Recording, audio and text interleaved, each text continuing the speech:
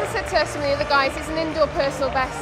It's not really reflected what I've done in training, but then I was running on my own. First race, cobwebs.